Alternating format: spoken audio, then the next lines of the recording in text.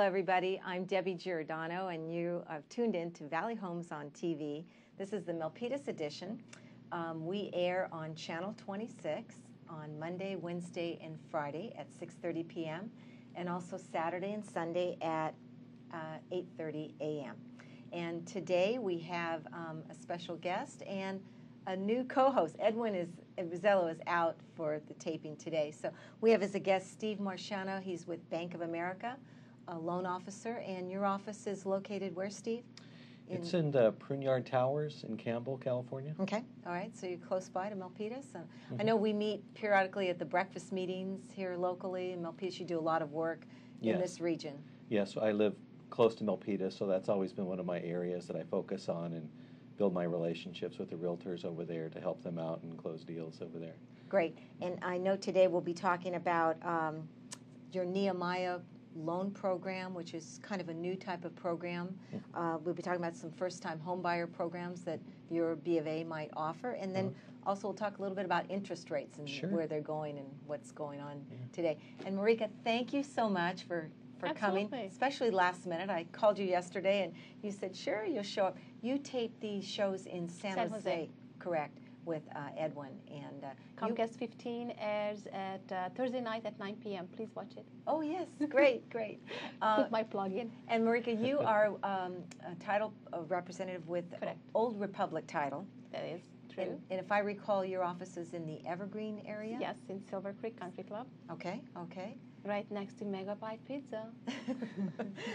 and um, we'll be talking uh, at the closing of our segment of TV about the title industry and, and where the market might be heading and kind of your outlook too on where you see things going. So, um, Steve, we're going to begin. Okay. Uh, ne- Nehemiah, pro- I actually heard about that program at one of the breakfast meetings when you talked about When I was talking about that, how, yeah. how that worked. Why don't you explain to the folks what that program is and how does it work and what how it can benefit a buyer? Okay. Um, actually, the Nehemiah program, it, it's not a Bank of America program, but it is a program that I've found that, that helps buyers and sellers put deals together. They've been around for over 10 years, and um, they're like a down payment assistance program where the seller needs to be willing, the buyer and seller needs to be willing to do this, and in a lot of cases, the seller can get a good purchase price offer for their property, and with that, instead of, um, or yeah, instead of giving a lot of closing costs to the buyers, they can actually assist them in the down payment, possibly. Now, is that a loan that the seller gives, or it more or less, less a gift or a contribution? How does that?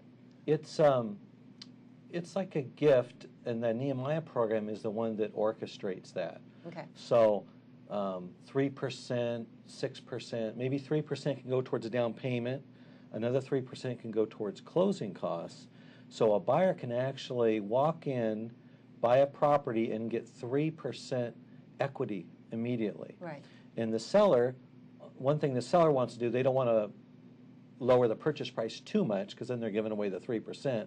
But if they put a fair purchase price and the value will come in, that has worked quite a few times. Um, I have one going right now that was three, 325 purchase price and the seller's giving up 6%, three for the down, Wow. three for the loan, and everybody's happy. Uh-huh. They got that house sold, and that happens to be in a declining area like Tracy. And, and I guess that would benefit the seller also in, in as far as them not having to reduce the price of their property uh, by giving that Nehem, uh, the, the gift that keeps the property value Right. up. And, And offers it to more borrowers. correct. You know, correct. so with that available for them, if they're willing to do that, they may get 10 possible buyers instead of two by any, not doing it. any special qualifying that the buyer has to do to, to obtain that program? Oh, it's very easy to qualify. Basically, it's the buyer and the seller willing. There's no income limits. Um, and it's used a lot with FHA. Now, there's some loans that you cannot use the Nehemiah.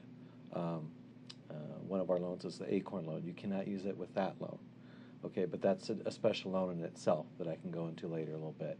Uh, but FHA, it's used quite a bit. Over 30% of the purchases um, with FHA, they use the Nehemiah program. Okay, so if there's any viewers out there wishing to get involved with the loan program where the seller would contribute the down payment Mhm. using the Nehemiah, they may contact you? Absolutely. And how would they reach you then?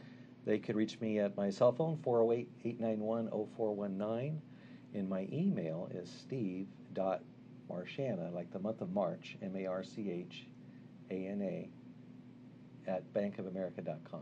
Good, I'm going to ask you to give that a couple times so we can make sure that folks know how to get hold of you. Okay, great. Um, That, that is, that's an awesome program, I think, and, and possibility there'll be more of that being used as the years come by.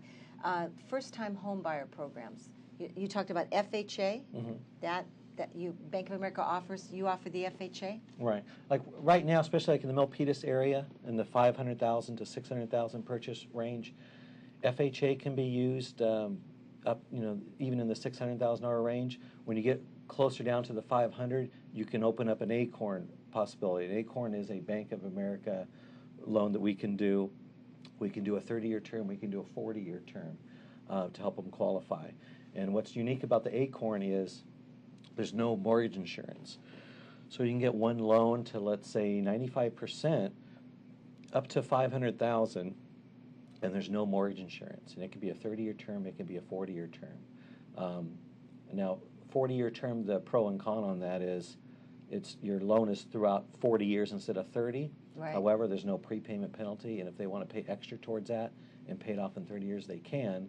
But it gets them into a house with a uh, minimum lower monthly payment than it would be on a 30-year term. So between the two programs, the FHA and the Acorn, do you recommend one over the other? depending on the case. Okay. Um, for instance, an ACORN program, uh, they have to go to a first-time home buyer class. Um, the advantage of that is no mortgage insurance. One loan, no mortgage insurance. And the mortgage insurance is on And a the, 40-year term. is on the FHA? Mortgage insurance is on the FHA, although it's a, uh, a lower factor, um, don't want to get too confusing, but the monthly payment on the FHA mortgage insurance is not bad at all. Now, they charge you one and a half points up front. That's how they make their money. Which the seller can pay? Yes, that could be used towards uh, the closing costs from the seller. That's- Okay. Yeah, you can do that. Okay. Um, Or you could just put it into the loan, or a lot of them do that. Instead of a, for instance, a ninety-seven percent loan can be done with FHA right now, and you can add the point and a half on top of that ninety-seven percent, and then the rest can be the gift from the seller. And with FHA, you don't even need any reserves. So it's amazing the type of deals you can put down with FHA. Okay, Steve, I have a question for you. I'll- Actually, I maybe- was Go going to say ahead, please. something too. As I'm listening to you, it seems like that there is so many great loan programs out there, yet the assumption of the buyers or the people that are thinking of buying or I can't afford it, I cannot do it. And and I'm amazed that, you know, I'm still hearing, you know, 97%, 95%. So there are programs. There's a lot of great programs, and but the other part is true that you said. Some of them can't do it, and some of them can't afford it. Um, the days of the not proving your income are kind of behind us for a while, at least, unless they're putting a big down payment down. So for the first-time home buyers, they need to be able to prove their income. Um, so that way, for instance, the FHA loans are insured. So nobody's going to take a loss on that, but they need to prove the income. That's one reason why Bank of America likes FHA, because we've always liked, or Bank of America always liked, full doc loans, where you you know provide your income documentation, and um, as long as they can provide the income documentation, there's not going to be any guessing if they can afford it. They're going to be able to afford it if we get them approved.